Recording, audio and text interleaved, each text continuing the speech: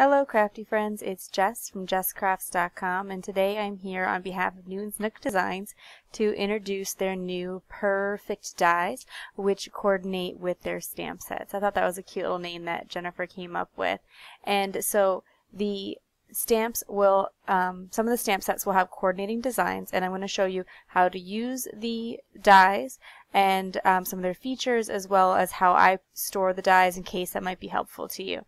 So when you get the dies they come in a very similar packaging to the stamps and they're being held on by some adhesive which can rub off easily. Also an adhesive eraser might help.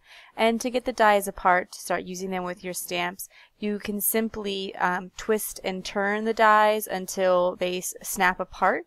Um, I find that sometimes a little bit tricky to do and it has um, some rough edges then. So the other suggestion would be to, if you had it, use some die snips or actually just wire cutters and you can um, trim off and give a smoother edge. There also, I've heard of die files to help you file off those edges. And um, I, so here I'm just using my standard wire cutters that I found in our toolbox and snipping the dies apart.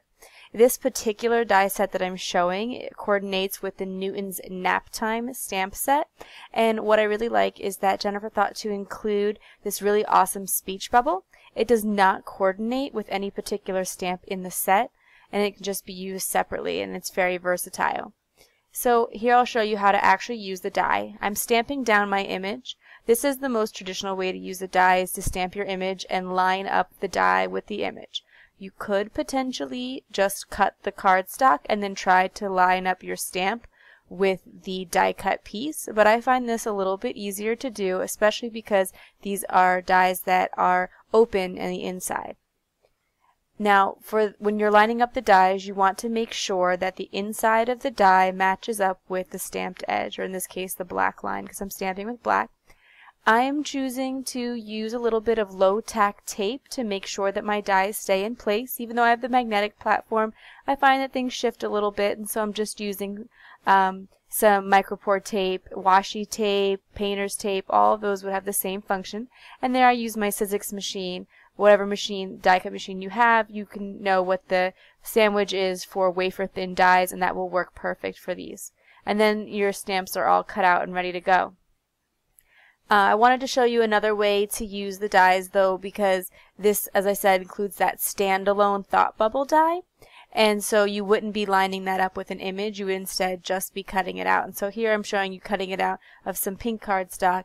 But I also particularly like the hearts in this stamp set because you don't have to stamp the hearts in order to die cut some nice hearts, which are always great accessories.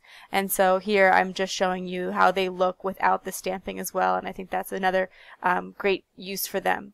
Now, when you have the solid dies, sometimes the little papers get stuck in the smaller areas, but that's why those little holes are in the dies, so that you can just take any sort of thin tool like a needle or that paper piece piercer there and just poke them out.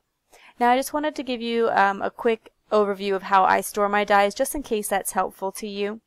I store my stamp sets inside of zip top bags and um, they coordinate with the size of the stamp. It's a smaller stamp set, but I like to keep my dies with their stamps so that they're always easy to find. And um, so I take these magnetic vent covers that I get at my local hardware store. I place the um, dies down on it to see about how much I'll need, and then I just trim out the magnetic sheet. It is a very thin, lightweight sheet, but fully magnetic. And so there I'm able to place it right in with my dies and it doesn't stretch the bag or isn't too heavy or anything like that. And with the Newton's dies, because the um, backings for the dies match the backing for the stamps, I actually just place them right back on that little adhesive strip and it stores everything together nice and neat. So I hope you enjoyed this look at the Newton's Nook Purr-fect dies and you're just as excited as me to start having some coordinating dies for these stamp sets. I'm going to leave you links to the Newton's Nook blog where you can check out these brand new products.